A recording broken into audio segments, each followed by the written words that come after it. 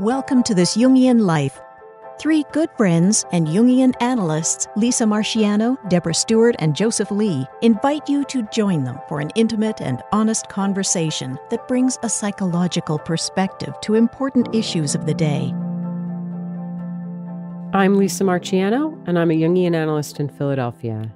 I'm Joseph Lee, and I'm a Jungian analyst in Virginia Beach, Virginia. I'm Deborah Stewart, a Jungian analyst on Cape Cod. And today, we are going to ferret out the important dynamics around choosing a life partner. Wow. I mean, this is this is such a big topic that a lot of Yes. people bring into an analytic Big topic and big process. Yeah. hmm Yes, and the repercussions for for making a poor choice or uh, an unconscious choice Yeah. is enormous. You know, it really is. I, th- I think about that sometimes when you think about sort of decisions you can make in your life that will really impact how you, what it looks like. And boy, this is a big one.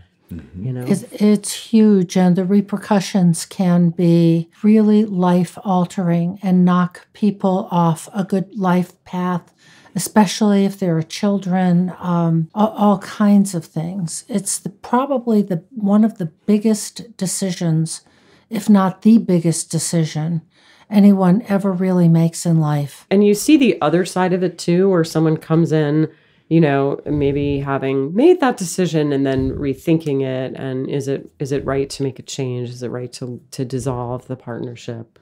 You know, they're sort of wondering if wondering if it's possible to kind of do better, if you will. You know, Yes, so that pivotal place that people will often come into our office, which is when the spirit of the marriage seems to have left. Mm-hmm. And what happens when it doesn't return, or what can we do or they do to bring the spirit of the marriage back mm-hmm. to life, back into the relationship? Right. But even just sort of beginning, sort of at the beginning, do you have people come in who are in a relationship maybe and contemplating a next step in terms of commitment and wondering, is this the right person? You know, once again, interestingly enough, I hear that dynamism much more in young men than I do in young mm-hmm, women mm-hmm. at this point. That young men feeling that it's their responsibility to make the declaration that this is going to be a sustained marital or marriage like mm-hmm. relationship and weighing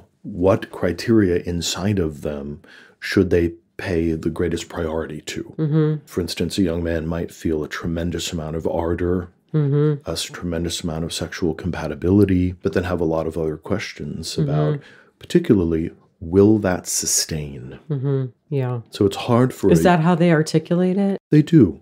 It'll show up perhaps in more um, colloquial language of, you know, will I want to be sexual with this person for 20 years? And will I will I be able to respond sexually to a person for 20 years? I do think that young people are more attuned than perhaps in the past to how painful and problematic it is to dissolve a long term relationship mm-hmm. so that they do feel cautious mm-hmm. about it. I see less impulsive jumping in to moving in together or jumping into the legal arrangement of getting married. So, part of the work seems to be sorting out in our work which ideas and which images seem to hold the most, most potency in their mind. And we'll actually often do a Venn diagram hmm. as part of their work, actually diagram it out and then pull out from that how it is that those ideas became such a priority for them, not to depotentiate it, but just to understand it. So you're saying kind of diagram out what their priorities are in looking for a partner? In looking for a partner, but that's often stimulated by the fact that they think they found a partner. Yeah, of course. Like that's when the question arises and with some degree of urgency. Right. Is uh, So it, uh, I'm hearing here that there's this ardor I- issue for for men. So maybe there are different issues for women at an emotional level, but then there's also the with the Venn diagram idea of the idea of what are the practicalities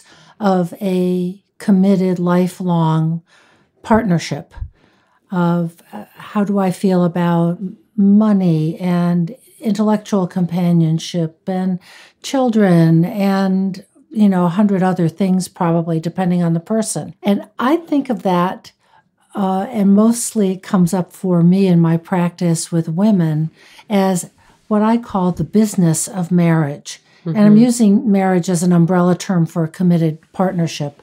Of what are the practicalities mm-hmm. you will face, uh, depending upon what your goals are and what your prospective partner's goals are. Mm-hmm. Well, I absolutely think about the practicalities, and it reminds me of uh, the pre-cana work that mm. the Catholic Church will do to ask these important um, logistic questions about it. But when I think about mapping out or helping a client map out their fantasy or their drive to get married, we are dealing often with very soulful questions. So you say you love this person. How do you define love? Mm-hmm. What does that mean to you?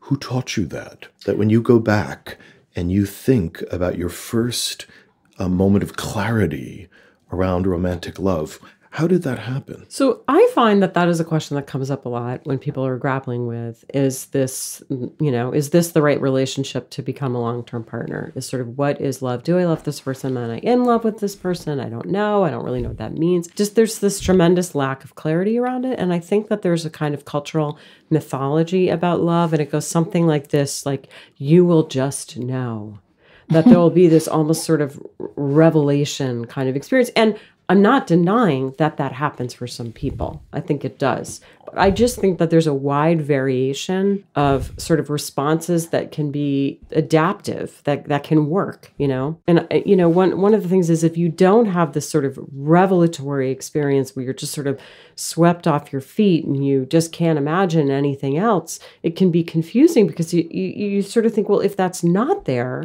then this must not be right. I remember having this conversation with someone where she was engaged to someone and she was as sure as one is. But she she said to me, this was a friend, she said, you know, but but I I met someone the other day and he was he makes more money than Mike and he was better looking than Mike. And how do I know that, you know, sort of Mike is kind of as good as it gets in a way? And I found myself saying, well, you don't. And that's why it's called a commitment. Mm. You know, that in some sense there's there's a point where you you make a commitment and it isn't provisional on that it's as good as you can you can do you know it, it's it's not like shopping no is this really my best buy right you know, there's a, a book that I love called The Magus by John Fowles. And there's this great line in it where, you know, it's like boy meets girl. And then there's this whole long novel where they're not together. And then they find each other again at the end of the book. And he says to her, Is there someone else? And she says, There's always someone else if you're looking. Mm-hmm. So at mm-hmm. some point, this is terribly unromantic. Mm-hmm. At some point, when you decide to create a long term partnership with someone, you are saying, I'm going to stop looking. And continue to invest and reinvest in the relationship, in the idea of the relationship, and in the system around the relationship that supports it. Mm-hmm. And that that's where the life force goes. Yes. Rather than this relationship keeps reflecting back to me anew each day mm-hmm. that this is really fabulous and there's no doubt ever that this is the very best thing. So, what we're, I think, maybe pointing to is a level of maturity uh, that can go beyond the, the romantic sort of chemistry, attraction, sexuality, all the rest of it, a readiness to make the commitment to partner with someone and that there is a business aspect to that. I'm using business loosely, but that now we're going to be partners. We're going to go through life together. We're going to work together to, to keep on finding each other and refinding each other as we go along each of us is ready to really be responsible to ourselves and to the relationship. So, no, I'm not going to look because any further than this because I don't need to be filled up with, you know, passionate feelings all the time. I'm ready to give something as well as to receive the riches of a partnership, but it's much more grounded. You know, you use that term business, and I don't believe that this is uh, original to me. I think I heard someone else say this, but I think it's really good. And I will share this sometimes with people who are at this point. I will say, if you had some savings, if you had a million dollars in the bank or 200,000 in the bank, and that was it, that was your, you know, that's what you got, would you go would you create a business with this person and sink every last dime that you have into the business with this person? And that can be really clarifying because that's that's essentially what you're doing when you get married is you are absolutely very closely knitting together your you know financial future with the person. And this is true to a certain extent even if you don't formally get married although there's different vulnerabilities with the legality of, of a marriage. And, uh, you know, if you can't trust that person to absolutely make the best decision with, you know, your beloved pet, with your future child, with your money, then man, that's not good. Trust is the foundation, I think, and I think that's exactly it. Do I trust you with you know all of the resources uh, external and internal to honor this relationship and hold your end up. That the two of us are going to be uh, hitched together and they call it used to call it getting hitched but we will be pulling that wonderful wagon called life and maybe it will be filled with adventures and children and pets and responsibilities and goals and values but uh, we're going to be doing this together and can I trust you? And trust your judgment. Your judgment and your maturity. So the image that that's being evoked in my mind as I'm listening is that everybody would want to date and marry a CPA. Well, The in- good, good point. which uh, Gee, which used to maybe be- that's true in the world to be a doctor, as well. but I guess today it'll be a CPA. um, but in addition to those um, competencies Yeah. Out in the world, I think there's that wonderful idea that Jung talked about that when two people come together in an intimate way, that it's akin to a chemical reaction that can't really be predicted. Mm-hmm. So that when people are deeply open to each other, their unconscious union produces responses and reactions which they cannot control mm-hmm. Uh, and which have to be honored and validated and explored mm-hmm. as the basis upon which they then decide does this evoke from me a state of being mm-hmm. that I would want to invest in, that I would want to have all the time? Mm-hmm. And then the second level is once that's established, you know, is this sustainable in the real world with all of the real world responsibilities that that, you know, brings forward? So you're talking about the unconscious attraction or the unconscious level of relationship and how people often will choose somebody who manifests characteristics, strengths that one doesn't have. Uh, so the Or, old doesn't have a conscious relationship with. Exactly.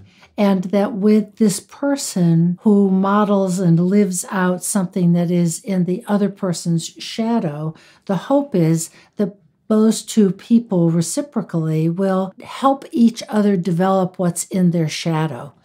Therefore, the perhaps very shy person who partners with a very extroverted person, the shy person will in time hopefully have more access to his or her extroversion. And so it goes. And that what are the qualities that help people, two people, develop one another uh, versus conflict and destructiveness?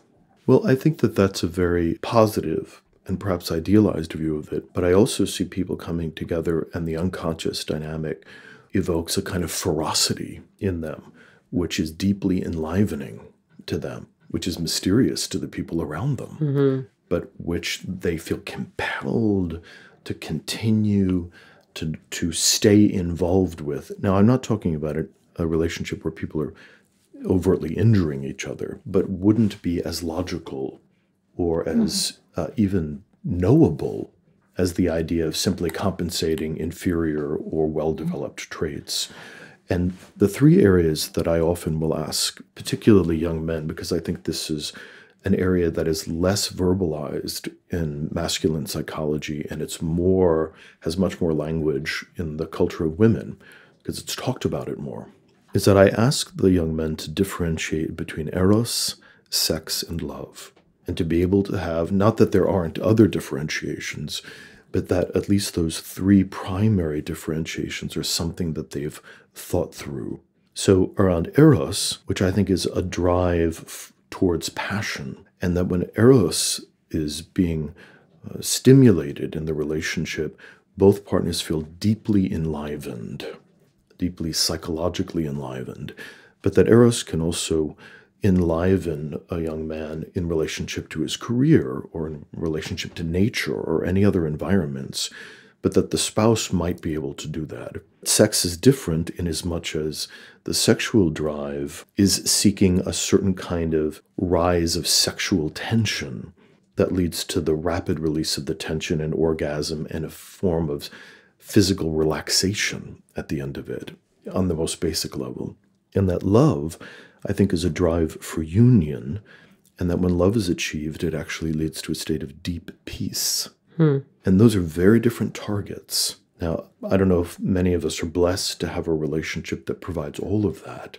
But when that does, then people's socks are knocked off. But I think when people are trying to understand why am I pursuing this person, that those differentiations help them at least understand what the drivers mm-hmm. are, but also to be able to, to look at what's missing. Mm-hmm. So perhaps the drive for sexual excitation and release is so powerful in a 20 year old, and the issue of love or the desire for union or even a kind of psychological enlivenment isn't even on the map.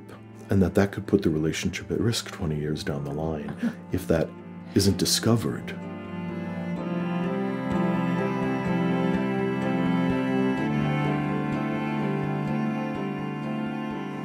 I, am sitting here kind of smiling. Uh, in my practice, there are a lot of young women uh, in their often in their 30s who are now starting to really think about finding a life partner.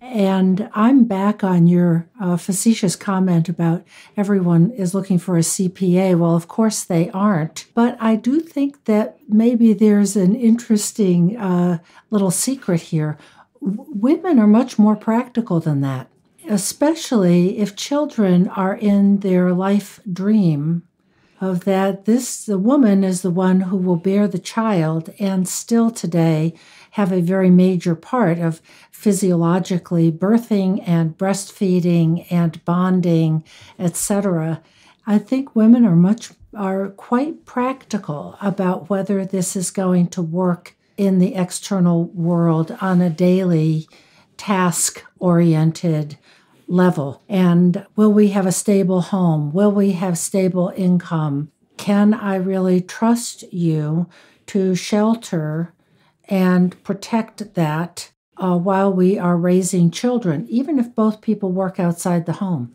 And interestingly, I rarely hear men verbalize that as a primary agenda. That I think men are often driven by the desire to be enlivened in one way or another. Enlivened sexually, enlivened in terms of psychological hmm. uh, eros enlivenment. and sometimes, if they're more mature, they can admit there is a drive to have an experience of peace and comfort. That often doesn't happen till till a man is much more mature in his thinking. So uh, now it's all of a sudden like a podcast for men are from Mars and women are from Venus.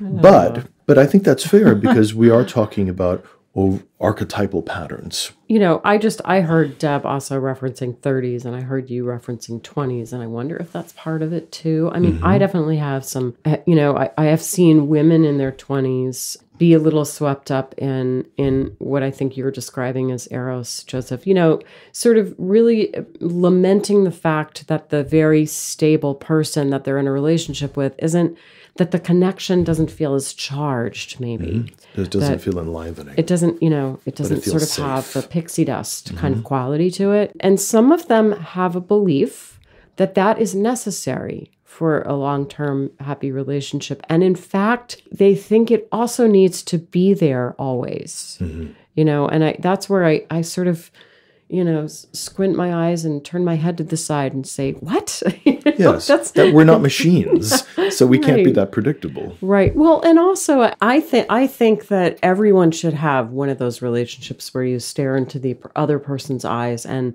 you know, time stands still and, you know, all of that. That's amazing. It's that that that really that really intense experience of eros. And I am not at all convinced that that's the right relationship in which to have children if that's in your life dreams. Or if that's all that's there. yes. Yes. So that's a component, but other things would need to be there to imagine, uh, you know, a future for 40 years with somebody. Yes, and if you have one of those relationships where you stare into each other's eyes and the you know the planet ceases moving or whatever, I guarantee you that won't be happening when you've got a two year old and a four year old. Right. You'll you'll be sort of snarling at each other through uh, alternating loops of guilt and resentment, and you know whose turn is it to empty the dishwasher, and that will be fine too. You know, like a night a, a night together will be like, oh great, let's fold laundry. You know, and that's part of it. I mean, I think some people think, oh, that would be so disappointing. But in some sense, that's, you know, it's sort of the transcendent quality of the ordinary, if you will. And, and I think that's a way of uh, trying to attract a certain amount of life force to the domestic images. But I think in investigating the topic with our clients, we do need to tease out as much as we can, and dreams can sometimes point to it. Mm-hmm. What kinds of images are lighting up inside of you that are even guiding this topic mm-hmm. coming up? Are they exclusively idealized romantic images? Mm-hmm. And I've certainly worked with clients that that had numinous domestic images. Hmm. That actually coming home and having dinner with a spouse every night is full of life force.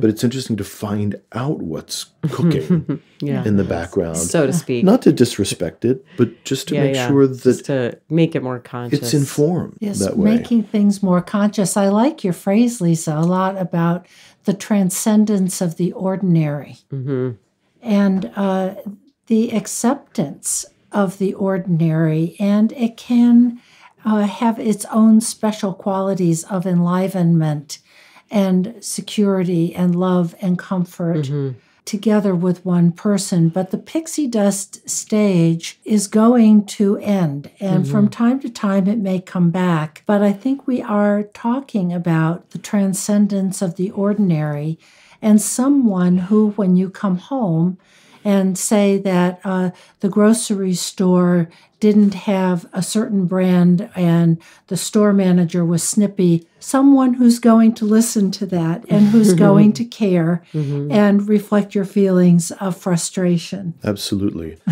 and and coming back just a few uh, summary ideas that the pixie dust uh, stage uh, in experimental psychology is called the limerence stage. And the research, there's been a lot of research on it, says that it takes six months to two years for the average person to transition out of the idealization stage.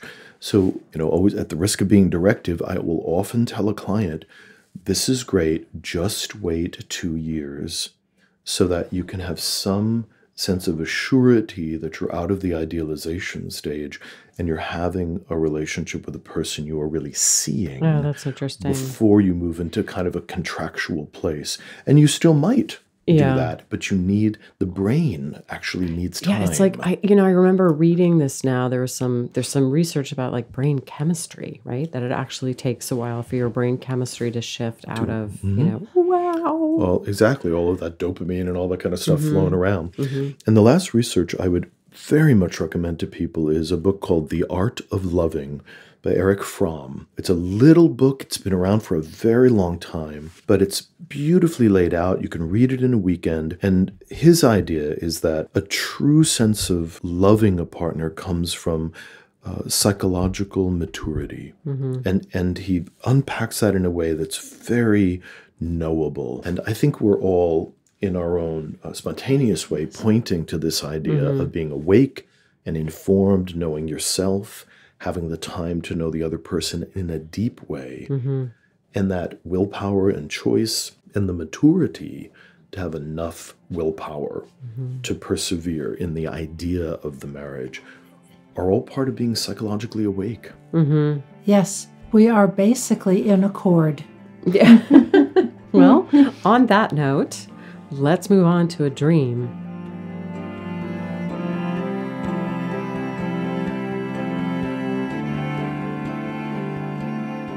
So uh, we are going to take a, be taking a look at a dream that one of our listeners sent to us. The dreamer uh, is a woman who is in her late 40s. And uh, let's see, it says that she is a musician and a mother. And okay, I'll just read the dream. And we will also put the dream in the show notes as per usual. So here we go. I was in my parents' house. My mother was showing me some renovations she had done in the bathroom. This bathroom doesn't exist in her real house. Suddenly, in the mirror, I saw myself behind me charging towards me. I turned around in terror, but there was nobody there. I turned back to the mirror and saw myself again, looking pretty demented, charging towards me. Again, I turned around, but there was nobody there. Hmm. This dream reminds me of one of the things that Jung said uh, that when he's uh, hears a dream for the first time, the first thought that he has is, I have no idea what this dream means. so that has happened to me many, many a time, and, and here it is again. It's not a bad place to, to start, is it? It's like beginner's mind. Well, when I don't know where to start, I start in the beginning and I see too. that we, the dream starts, I was in my, parents' parents' house. So what we know is we are in the parental complex. Yes.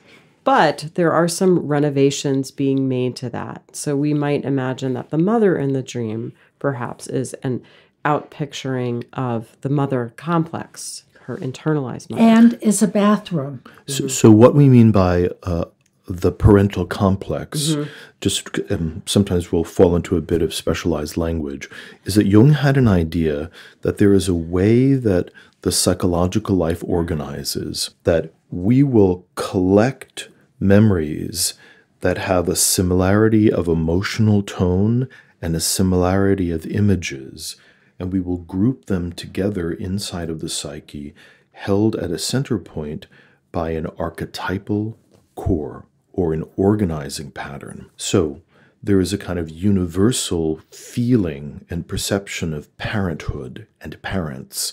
And inside of your psyche, all of the memories of parents uh, relate to each other around that center. And the dominant emotional tone of those memories holds a huge amount of charge. So when this complex or this collection of energy moves very close to the dreamer or close to the waking mind, it can create very strong feelings, thoughts, and even behaviors that will recede as the complex moves back towards the unconscious or can get really potent when it's right next to the dreamer. Yeah, I mean, you know, in terms of sort of what that might look like in someone's life, you know, a parental complex, I mean, there's a lot about how we grew up and how we related to our parents that might have an impact on how we feel about ourselves in our career, where we get stuck in friendships, maybe how we are with our own children, uh, what it's like for us to be in relationship with a partner.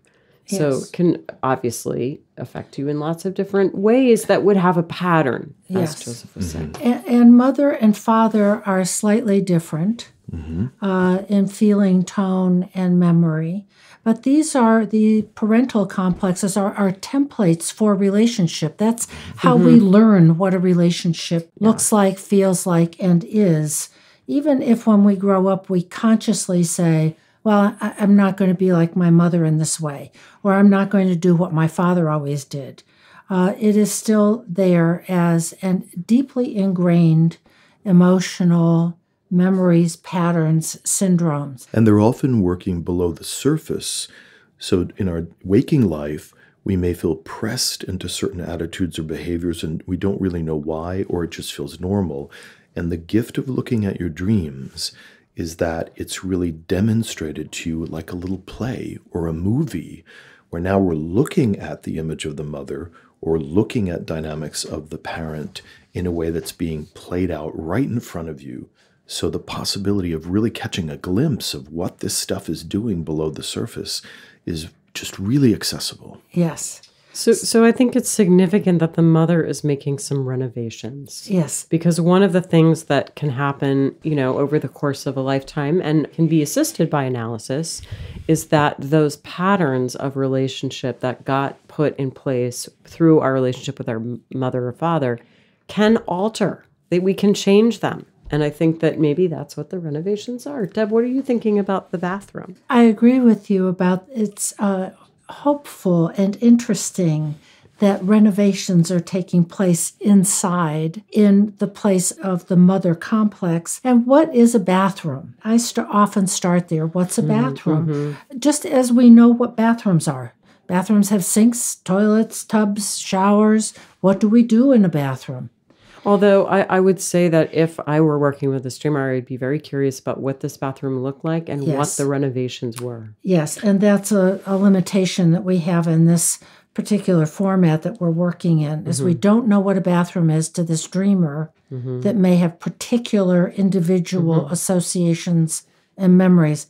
However, um, it's a place of primal functions. It's a place of beautification, putting on cosmetics, doing your hair taking a luxurious shower, a very personal space, unlike, let intimate. us say, the kitchen or the living room that is often shared with other people. One is usually in a bathroom doing something very individual, personal, and private. Okay, and then we have the this mirror. This mirror winds up being really important wow. in the dream. Yes, this uh, capacity for reflection. Yes. And that one, the dream figure, the dream ego, is interested in looking into the reflecting substance and then upon this self reflection discover something really shocking yes. surprising mm-hmm. yeah it's like the mirror or the ability for self reflection sort of speaks to our willingness and ability to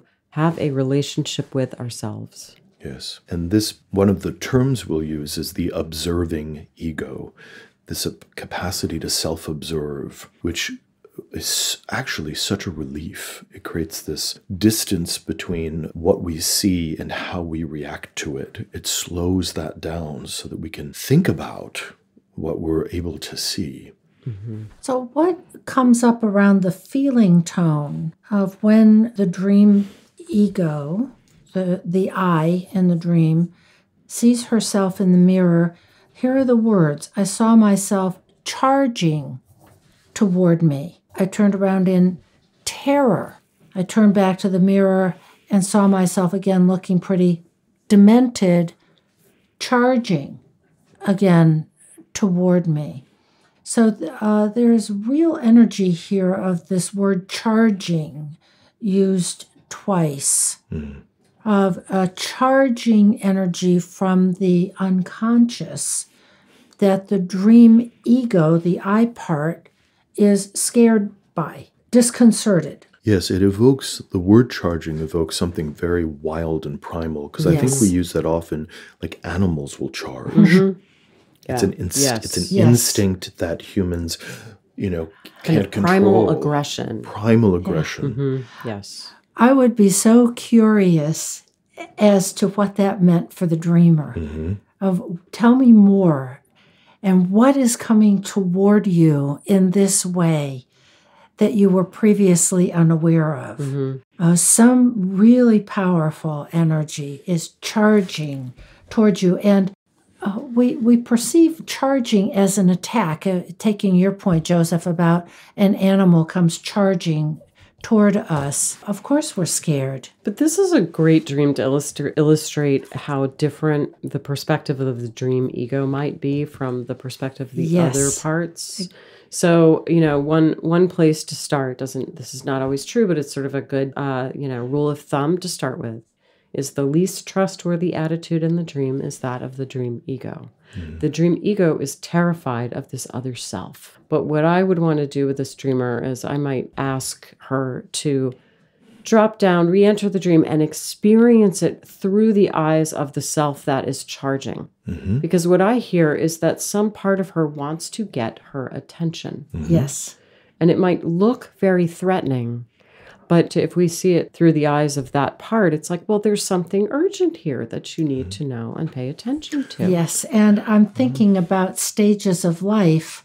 And the second stage of life uh, that Jung uh, really pioneered comes along in midlife in the 40s or 50s, depending on the person, where life becomes more introverted and uh, energy from a deeper part of ourself is often more accessible, demands to be encountered, demands to be known.